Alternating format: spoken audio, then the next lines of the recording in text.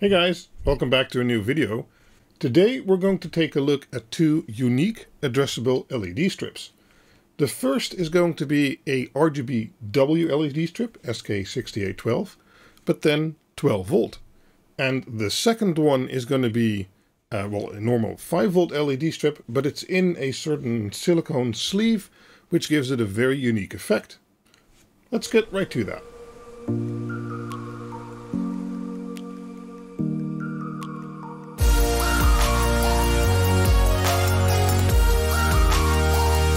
Okay, so what we have here is 12 volt SK6812. Uh, let me show you my disc.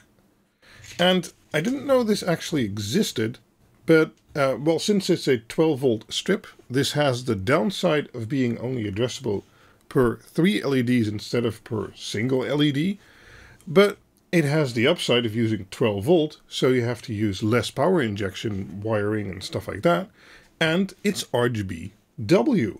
Now, to my knowledge, there isn't much RGBW or addressable RGBW out there at 12 volts. You have the normal 5 volt variants, but yeah. So what they did, or what I can see here, and I'll show you a close-up, the controller chip for the LED is seemingly in this middle LED here, or in this right side LED, and then the two left of that are just normal dumb LEDs. And, well, that's probably how they can do 12 volt instead of the 5 volt, but I'm not sure if this is just a regular one and the voltage regulator in SK6812 could do that always, or if this is using a special one. I'll overlay you some uh, nice effects I've been doing with a QuinLED Dig Uno and WLED, and while doing that we can also talk about power usage. If you haven't seen so before, uh, I keep track of all kinds of power usage. That's basically why I buy this stuff, and then I, uh, I, I, I check on how it does. And if we look in my chart, we see that for the 12 volt strip, the SK6812 RGBW 12 volt actually does really well. For the idle current, WS2811 still wins. That's also per 3 address. But in all or most other tests, you see that um, it uses about 23 watts per single color, 46 watts for all colors together, uh, so RGB white, but it has it has a dedicated white LED. It uses about 35 watt for that, and if we combine everything at the same time, it uses 68 watt. But then it does really produce a good amount of light. And well, this really makes it usable as a generic light strip because it has RGB W, and a normal light strip, and you don't have to worry about the wiring as much with 5 volt as I said. Now, in regards to white light, and there will be more content on this in the future, these are just your average, normal, cheap-ass uh, LED chips, especially the ones they added, but color is uniform overall. Um, but they're just cheap strip uh, or cheap packages with LEDs uh, yes, they're officially CRI 80, but if you look at the spectrum and if you look at the, the bar graph and then the TLCI instead of the CRI, you see that it really isn't that great. Even though it's warm white, it hits 3000 Kelvin just fine. The quality of the of the warm white light is, well, it's just not very good. It's a lot better than RGB combined, but as your main source of primary lighting, I wouldn't use this. If it's accent lighting or extra lighting, yes, the, the W, or the, this is warm white, you can have it in warm white, neutral white, and cold white, is decent enough uh, to have as an added source of light. And well, you can mix the warm white channel with the RGB channels, and all of them can do effects.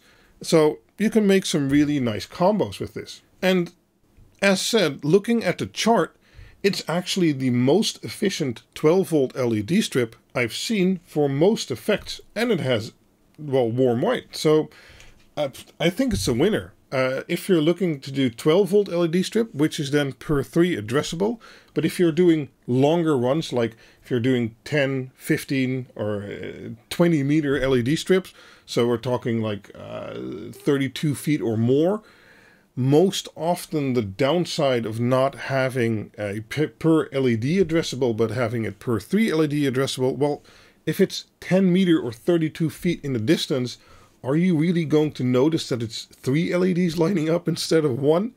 I don't think so. And then having a 12 volt is much more of a benefit than having the downside of per 3 addressable. Uh, but we'll talk more about that in future videos. But if you're doing long stretches of LEDs, maybe take the downside of 3 LEDs and go for the 12 volt variant. And now we have a, uh, what on here? a 12 volt RGBW. And uh, uh, colors look vibrant and yeah, it's a good strip. I like it. So as always, I'll have links in the description and I'll also have it listed on my quinled.info website. I'll also have some links to the QuinLED Dig Uno controller, most of you know by now, uh, that I used, and to the power chart. But let's move on to the second LED strip. Although the listing says that that is uh, also SK6812, maybe, but it's certainly not RGBW, because if you hook up an RGBW strip to a WLED, which is still configured for RGB, this is basically what you see. All colors are messed up and basically everything skips a channel because RGBW is four channels and RGB is three channels. Anyway, uh, let me get this out here. There we go. So this is LED strip that is uh, comes ready made and encased in this yeah rubbery silicone. I'm not sure what to call it. And that makes it, uh, gives it a very nice smoothing effect. I'll, I'll show you uh, better footage on the screen that I captured. Um, looking at the strip itself, it's made up of uh, a top side through which it illuminates outwards, but it also has an inner side to which it also illuminates. It's a little bit less than on the top side, so I'm not sure if they're using side-mounted LED strip or whatever. It is 96 LEDs a meter, and uh, you buy it in 2 meter stretches. This is the 0603 variant, I believe, on the AliExpress seller listing.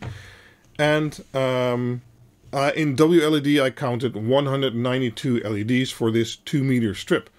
And the nice thing about it, they call it neon strip also, is that you can really, well, you can really make a tight bend of it, and it doesn't break or, you know, uh, go kaput. and uh, yeah, so if you're looking for something that's really diffused, like a line next to your closet or a, line in the horizon uh, horizontal or something like that, and you don't want to bother with an aluminium channel and stuff like that, this can be a very, very interesting choice. I don't have enough wire. Now I do um, instead of regular LED strip that you then have to use the aluminium channel and stuff like that yourself. And as you can see from the effects on the screen, it's really, really smooth, partly because it has 96 LEDs per meter and partly because it's really well diffused. Now this is less suited to light up your room, but as I said, if you want to trace contours or want to make a special shape with it or do something like that, it's it's really special and it looks really, really smooth, also in person. If I really go looking for it, I could make out a single LED, but in normal usage, I don't think you'll see them. So, really cool effect. I haven't measured these power-wise because I have a set standard of measuring 300 LEDs and stuff like that. Um, what I did notice is that if you only hook up one side, it's okay for effects, but if you try to do white, well, you'll see some serious voltage drop, and that's also very visible where the, the, the bright white turns into piss yellow white, basically. And if you then connect both sides, most of that is resolved. You can still see a slight little bit of fluctuation, but it's pretty good. That That's usable, I'd say, especially if you're doing effects instead of uh, running full white on them. On maximum usage, they used about 40 watt, and I'm just really in love with this thing, this thing because it's just really unique how you can uh, bend it and stuff like that. Now, from the seller I bought it from, this comes encased, so the LED strip is already encased in this, well, silicone stuff. Um, you can also buy from BTF Lighting. You can buy the channel that this basically is uh, separately. That done doesn't come with LED strip, and you can well you can basically make it yourself. But there's lots of different variants variants with that, where like uh, either it shines out upward or it shines sideward, and well you can you can get all kinds of different variants. But the combination here, where they used 35 35 size LEDs, 96 a meter, and then in this sleeving, it's quite nice. So that's basically wanted to wanted to show you. As I said, the links will be in the description if you want to pick them up. Check out quinled.info for lots more information. If you're looking for LED controllers, there's the QuinLED Dig Uno, or now the new Ta -ta -ta, I have one here. QuinLED Dig Quad. So make sure to check that out too. All links will be in the description. And other than that, thank you for watching and catch you guys next time. Bye bye.